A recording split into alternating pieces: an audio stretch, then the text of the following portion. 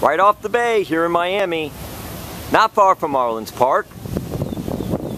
It's Bayfront Park, which has been transformed into Play Ball Park, one of the initiatives by Major League Baseball during MLB All-Star Week Miami. So let's go check out Play Ball Park.